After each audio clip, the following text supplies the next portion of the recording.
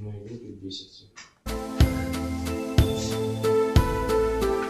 Ладно,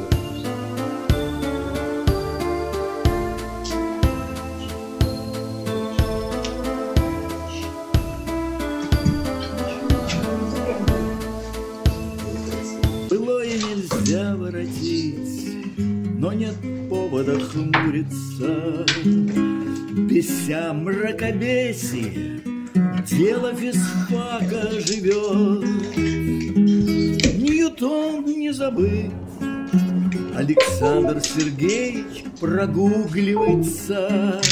Ах, нынче, наверное, лекцию снова прочтет. Ньютон не забыт, Александр Сергеевич прогугливается.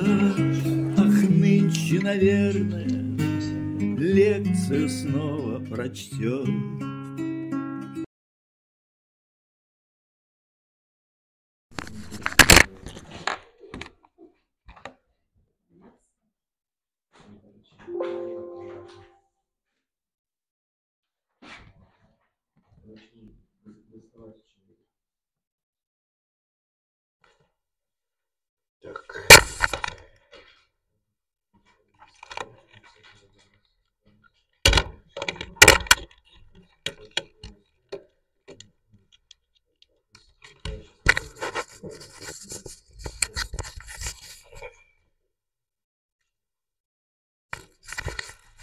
Ну что, господа, у нас наконец-то наступают многоэлектронные атомы. А то мы все с водородом возили. И настало время. Ну, первое, о чем хочется поговорить, это про атомы первой группы или про щелочные атомы. Ну, понятно, что они больше всего похожи на водород. По одной простой причине. Там есть один внешний электрон, а остальные электроны, у них все оболочки, во-первых, их под, э, все спиновые состояния у них заполнены, у них полный момент, у всех остальных электронов спиновый равен нулю. И, во-вторых, э, у них все более низкие оболочки заполнены, и там все моменты, которые могут быть, все проекции момента заполнены, поэтому полный момент э, орбитального движения тоже нулевой. Поэтому все определяется одним электроном. Но поэтому, в принципе, атом можно так себе представлять. Имеется ядро, вокруг него внутреннее электронное облако, а там есть один электрон. Ну и этот электрон как бы э, чувствует только един, один заряд, заряд ядра, и поэтому его э, состояние, в общем-то, очень близко к водородному. Ну, для начала мы договоримся вот о чем. В нулевом приближении мы будем считать, что все электроны взаимодействуют только с ядром. Это, конечно, очень грубое приближение, но мы потом его будем улучшать. Но вот если электроны, взаимо... каждый электрон взаимодействует только с ядром, то, естественно, система энергетических уровней остается водородоподобная. А, Значит, у нас есть 1s состояние, 2s, 2p состояние, 3s, 3p, 3d состояние и так далее, как было в атоме водорода. Ну, там границы ионизации. Ну, вообще говоря, если теперь нам надо... Значит, для каждого электрона вот такая схема получилась. Но вообще, если мы теперь будем рассаживать электроны, то, казалось бы, все электроны должны сесть на самый низкий уровень, а, поскольку мы говорим, что они только с ядром взаимодействуют. Но это уж очень грубое приближение. Вот есть еще первый учет, э, который нужно сделать, это учет принципа Пауля. Значит, вот мы поподробнее о принципе Пауля будем говорить, когда о гелии пойдет речь, там удобнее об этом говорить. Но вот пока мы снова оставим э, принцип Пауля в форме, что не существует двух одинаковых электронов. Ну, поэтому, если в атоме водорода понятно, что один электрон у нас находился на самом нижнем уровне, то атома лития понятно, что у нас э, три электрона. Но если их сажать на уровне снизу, то понятно, что два электрона сядут на 1s, они могут спинами отличаться. А следующий электрон сядет на 2s уровень. А, ну, поэтому, естественно, спектр нижним состоянием у лития будет 2s уровень, правда? Правда, возникает один вопрос. У нас в случае водорода на, том же, на той же высоте, как и здесь, был а, еще и 2p уровень. Вот что произойдет здесь, когда у нас атом трехэлектронный. Ну и для всех остальных это будет тоже работать. Но тут включается новый эффект, о котором мы с вами не говорили. Это так называемый квантовый дефект. Почему он так называется, в упор не понимаю. Но на самом деле это разговор о поляризации атомного остатка. То есть вот когда он, ну понятно, что чем выше у нас состояние, тем больше расстояние от электрона до ядра. Поэтому у лития, как правило, вот этот электрон, он, конечно, тоже размазан в пространстве, но все-таки у него функция спадает как e в степени а, минус r пополам, а у этих как e в степени r, поэтому он находится дальше от ядра, чем эти. Но, естественно, он своим полем немножко отталкивает атомный остров.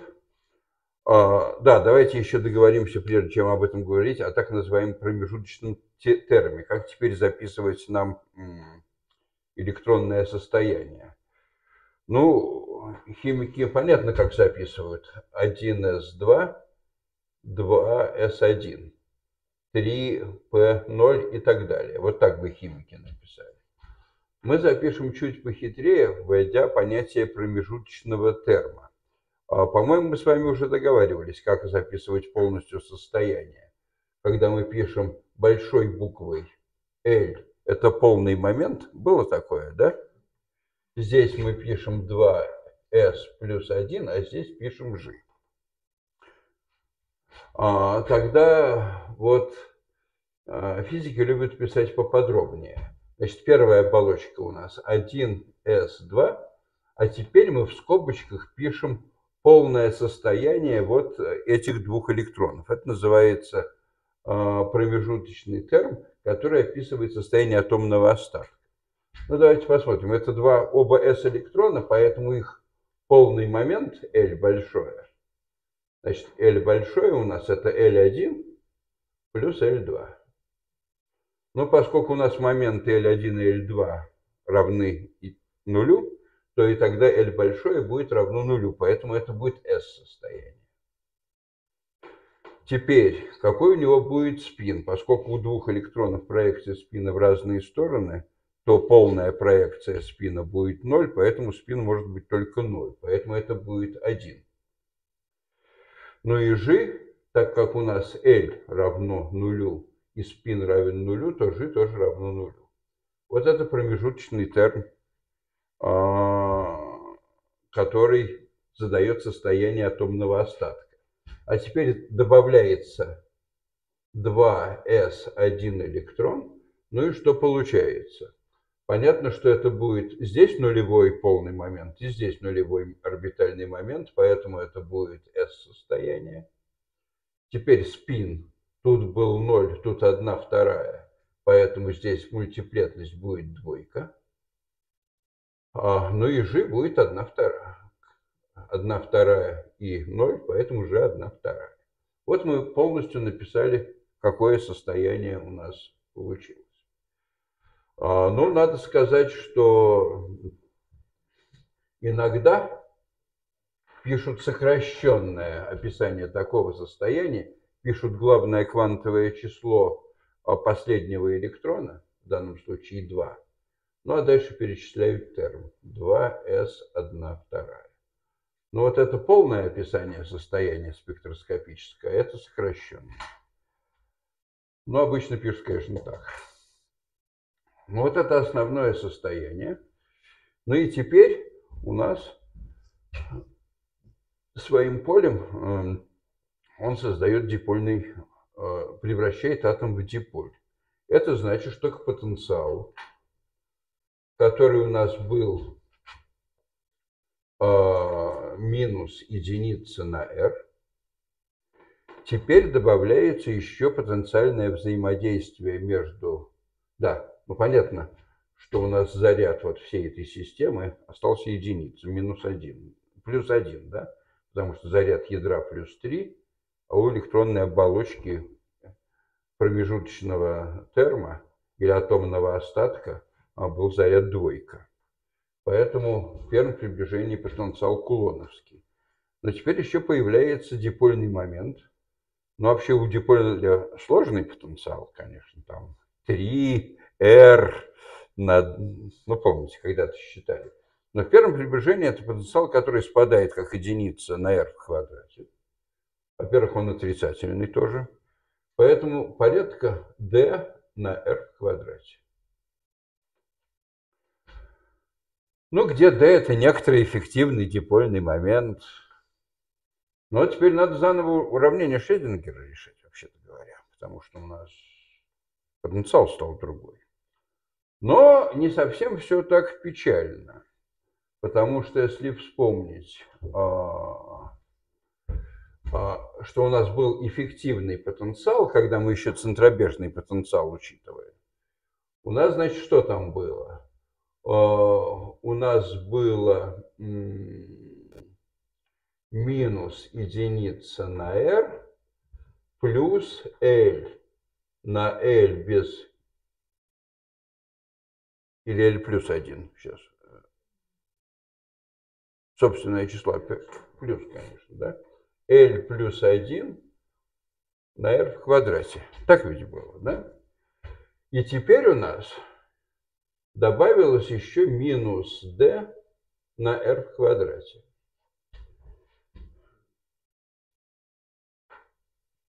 Смотрите, сейчас здесь не пополам, вот так, да? Вот так. Смотрите, какая идея возникает. А давайте это запишем так. Минус единица на r плюс L штрих на L штрих плюс 1 на 2r в квадрате. Оба этих новых потенциала спадают одинаково с расстоянием. И давайте попробуем его учесть просто так, подправив квантовое число L. Ну, тогда, наверное, понятно, что надо сделать. Мы напишем, что L э, штрих на L штрих плюс 1. Это будет L на L плюс 1 минус 2D, да? Так? Я здесь напишу тоже двойку, чтобы вместе собрать. Тут 2D будет.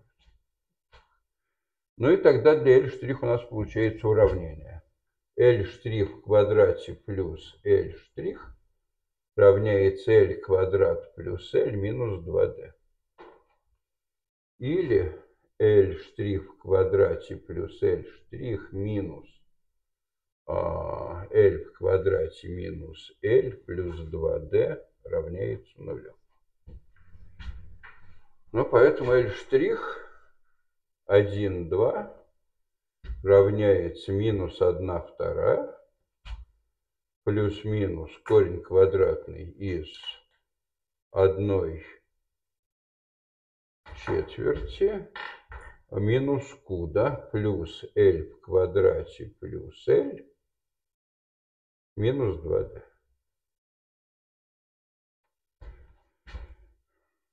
Или это будет минус половинка плюс-минус корень квадратный. Так, вот эти все три штуки превращаются в L плюс 1 вторая в квадрате.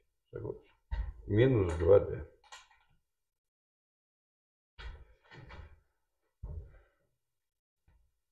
Ну, понятно, что, наверное, это маленький эффект, поэтому будем считать, что это малая поправка. Ну, тогда будет минус 1 вторая плюс-минус L плюс 1 вторая. А здесь будет корень из единицы минус 2D на L плюс 1 вторая в квадрате. Ну или минус 1 вторая плюс минус L плюс 1 вторая. Так, тут раскладываем в ряд.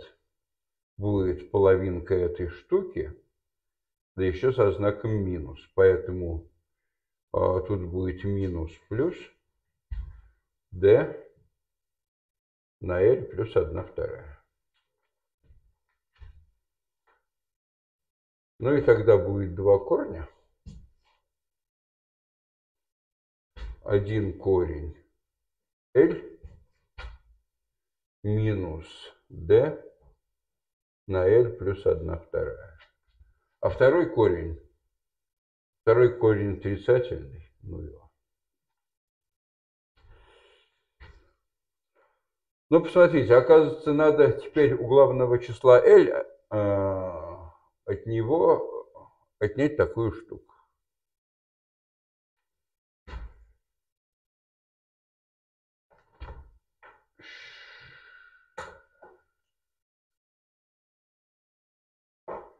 Так, со знаками я нигде не набрал, да, тут мы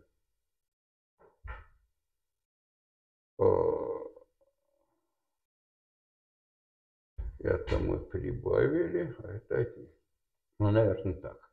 Ну, а дальше мы помним, что если раньше у нас было, что главное квантовое число равнялось L плюс 1, да, то теперь у нас главное, наверное, надо сделать квантовое, главное квантовое число – ему еще э, отнять такую штуку. Ну и тогда давайте введем эффективное квантовое число, которое будет главным квантовым числом, минус d на L плюс 1 вторая.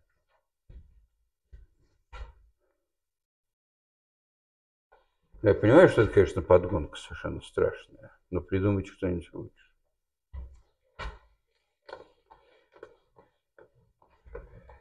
Раньше у нас энергия равнялась минус Ридберг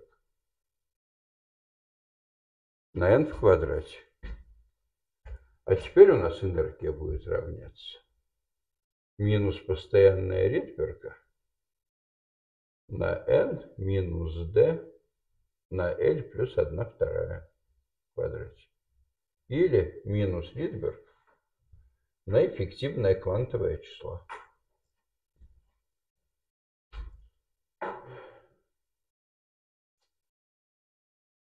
Поэтому смотрите, для S состояний у нас больше всего уменьшается. Для P состояний меньше уменьшается, для D состояний еще меньше и так далее. Если раньше у нас, когда был один электрон, энергия у S и P состояния были одинаковые, то теперь у нас все уровни приопустятся вниз, ну, потому что n уменьшилось, здесь n в квадрате в знаменателе. Все уровни приопустятся вниз, но s уровни приопустятся больше всего, p приопустятся поменьше, а d уже почти совсем не приопустится.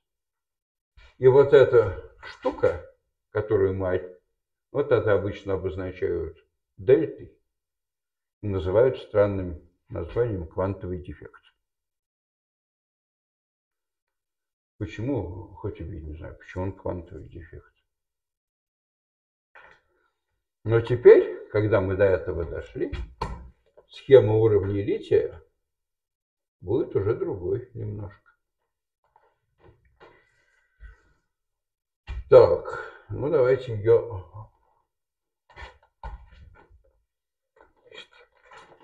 Значит, у нас энергия теперь минус Ридберг на эффективное квантовое число в квадрате. Ну и теперь, если мы будем рисовать все как надо, S состояние, P состояние, D состояние, F состояние, а здесь энергию. Уровень 1S чего рисовать? Он забит электронами, которые отсюда выбить сюда нужно куда больше энергии, чем отсюда сюда. И поэтому, если мы занимаемся оптикой, а не каким-нибудь там рентгеном или гамма-излучением, про эти электроны можно теперь только забыть. Их отсюда на эти уровни вообще не перевести, отсюда энергии гораздо меньше. Поэтому из этих двух уровней они, вот если раньше у нас было вот это, я уже приопустил все немножко, это был 2s и 2p уровень водорода, это был 3s 3S, 3P, 3D, дальше был 4S, P, D, F, это были решения для уровней водорода, то теперь будет все совсем не так.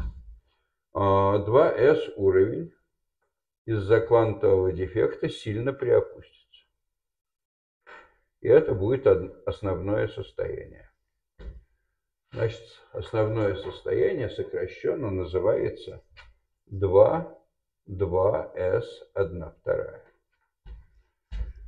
Но для P состояния уровень приопустится меньше.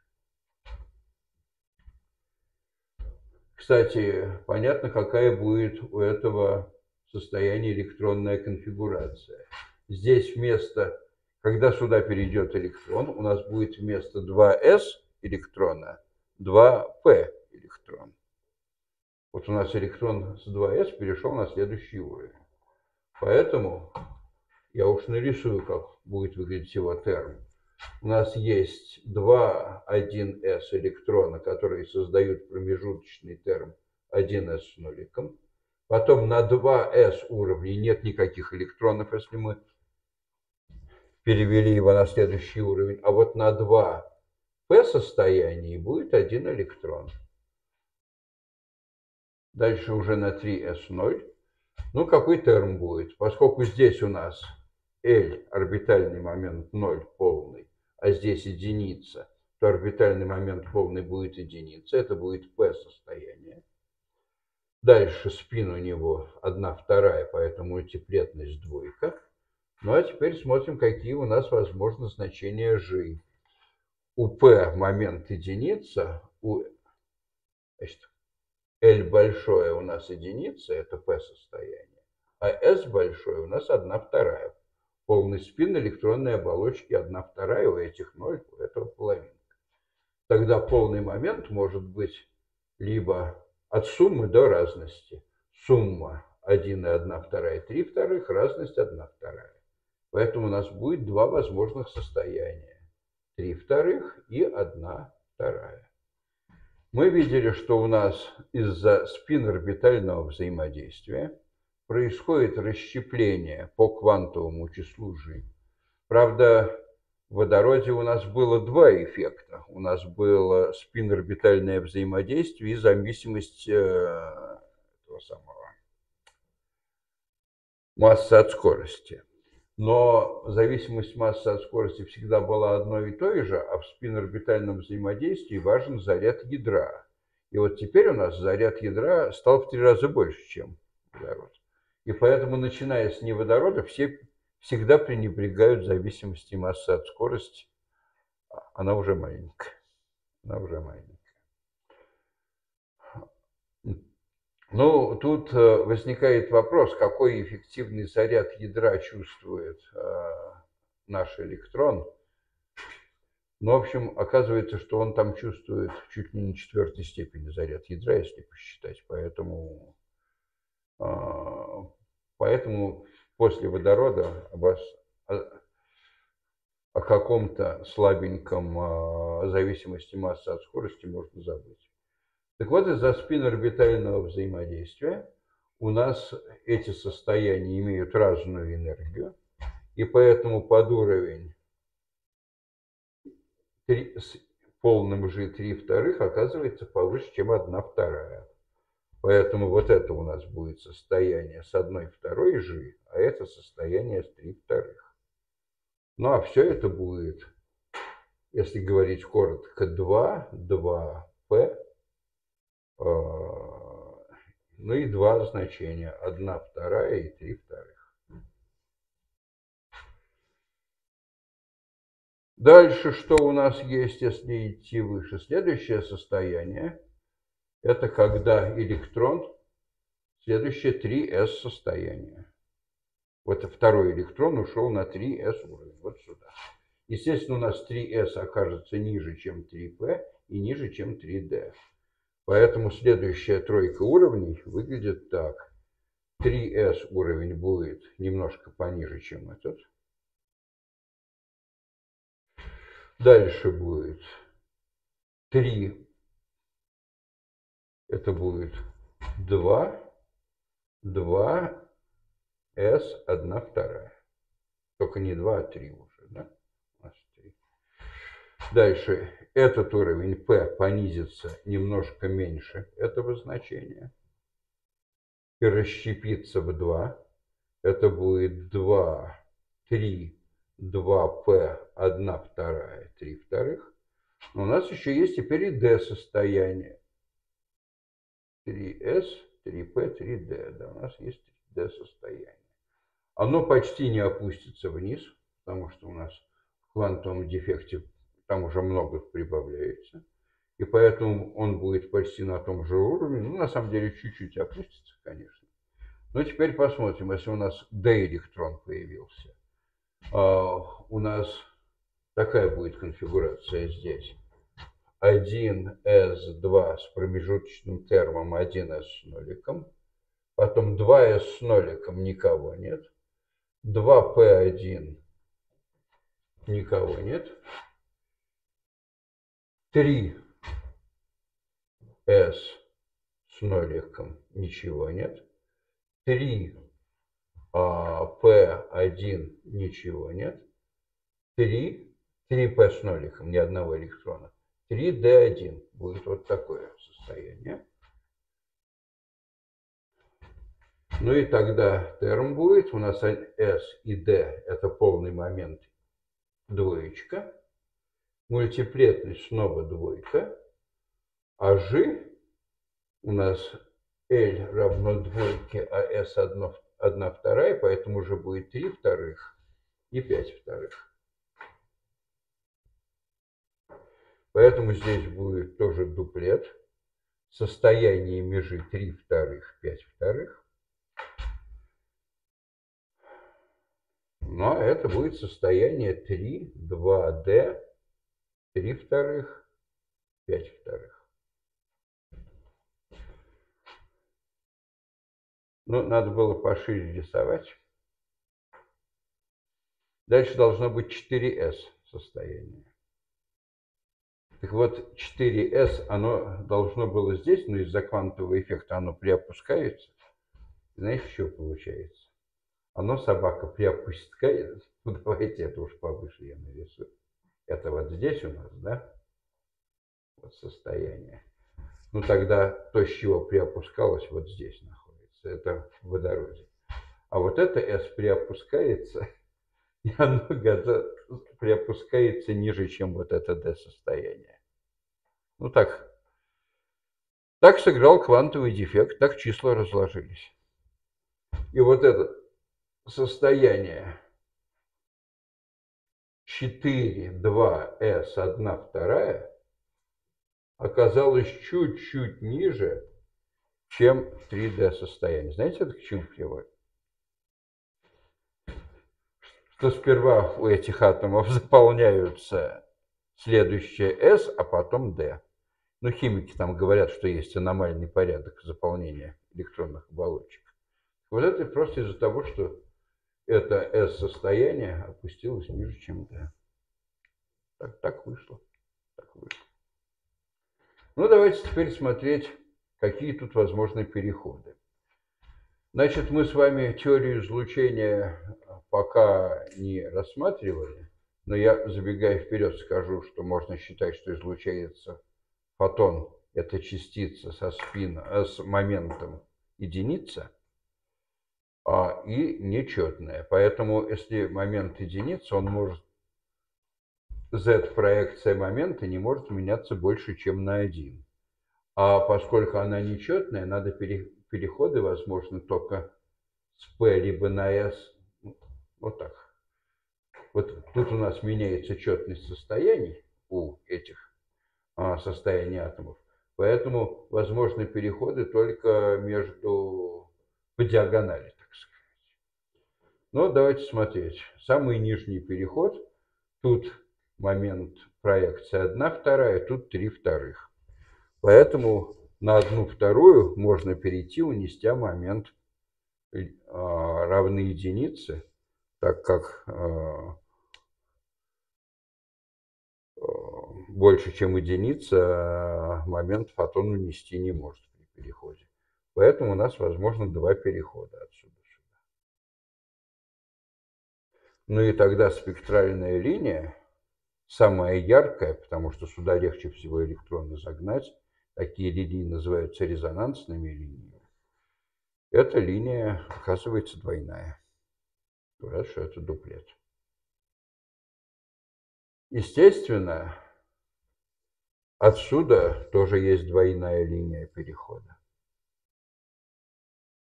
Но если эти, эта линия была более низкочастотная, то эта линия уже более высокочастотная. Этот дуплет лежит выше.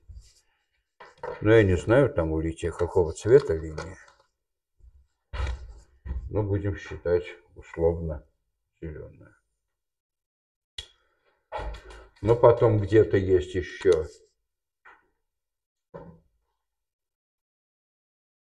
три, четыре уже, два П одна вторая, три вторых.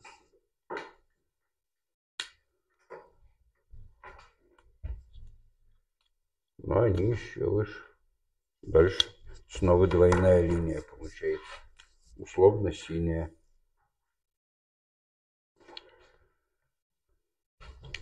При этом мы помним, что у нас э, энергия это единица на n минус дельта, ну, минус d на э, L плюс единица, по-моему, было, да, в квадрате. Вот так.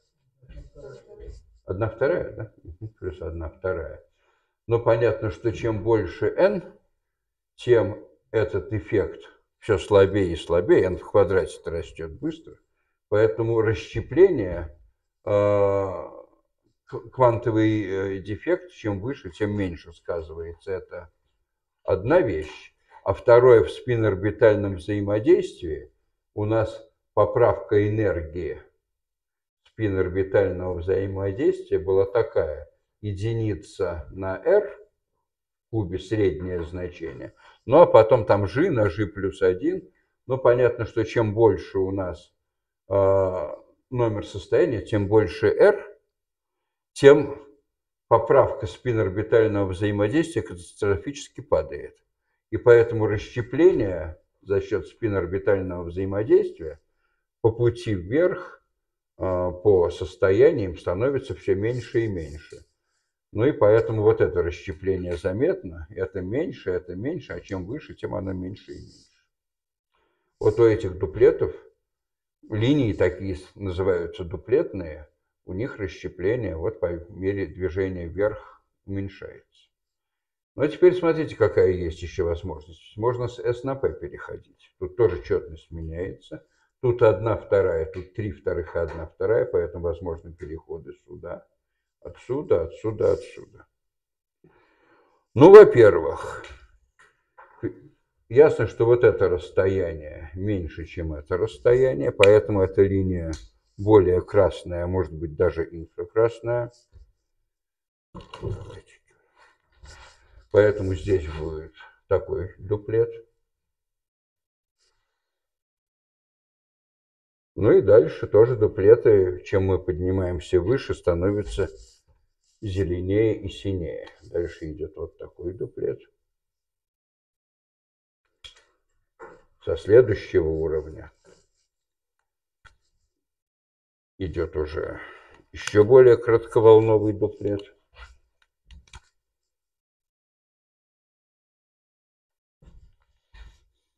Посмотрите, как интересно. Если в этой серии линий расщепление дуплетов уменьшается по идем наверх, у нас уменьшается спинорбитальное взаимодействие, потому что средний радиус в кубе уменьшается, то когда мы идем по этой серии линий, у нас расщепление не изменяется, потому что оно определяется нижним уровнем. Нет, конечно, есть переходы еще и сюда, но они уже невидимые инфракрасные, а видны эти только переходы. Это была большая загадка для спектров многоатомных атомов, почему некоторые серии дуплетов по мере увеличения частоты становятся все уже и уже, а некоторые оставляют, остаются одни и те же. Но, естественно, пока этого никто не видел, это была полная загадка. Никто вообще не понимал, почему такое происходит. Во-первых, не понимали, откуда дуплеты, про спинорбитальное взаимодействие, не очень-то понимали. А вот еще при этом у некоторых расщепление увеличивается, у некоторых нет, но это казалось полным бредом. Но если вы думаете, что это все, это еще не все. У нас есть еще переходы с D на P. Давайте посмотрим, какие здесь линии у нас получатся.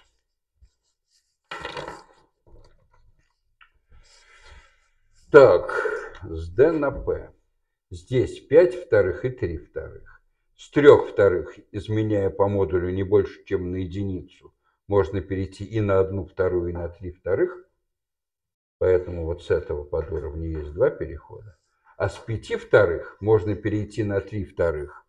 Изменение момента единицы, а на одну вторую уже нельзя. Z-проекция момента меняется на двойку, а у фотона вообще момент единицы. Поэтому только. О, оказывается, переходы в D на P будут триплетные линии. Ну и также с P на D тоже возможно триплетные линии, но это, скорее всего, далекая инфракрасная линия. Эти уровни лежат достаточно близко. С одной второй можно перейти только на три вторых, а с трех вторых можно перейти на пять вторых и на три вторых. Ну, вот так. Ну, вот так. Таким образом, для атомов щелочных металлов характерны в спектрах двойные линии и тройные линии.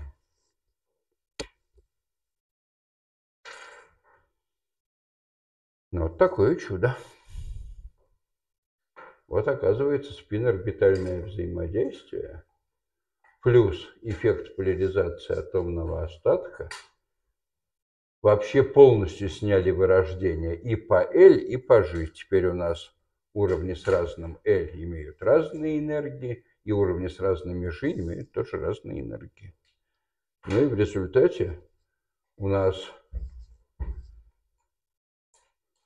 практически все... Да, ясно, что для разных атомов по таблице Менделеева щелочных металлов квантовые дефекты будут разные, потому что дальше уже будет следующий после лития калий атом. И там все начнется не с n равного 2, а с n равного 3. Там будут другие квантовые дефекты. И уровни расположатся чисто в абсолютных значениях, расположатся на совершенно разных высотах. Это значит, что спектры у всех щелочных металлов будут разные. То есть они будут одинаковые по структуре. Там будут двойные линии и тройные линии. Но энергии будут разные потому что квантовые дефекты разные окажутся. Это означает, что даже в одной группе металлов щелочных а, разные атомы имеют разные цвета спектральных линий. Но это лежит в основе спектрального анализа. Каждый атом имеет свой совершенно уникальный спектр. Они никогда не повторяются. Для разных групп у нас спектры окажутся совсем разные по структуре одиночных, двойных, тройных линий. Это само собой, разумеется. Но даже в одной группе по цветам, по частотам э, излучаемого света спектры совершенно уникальные.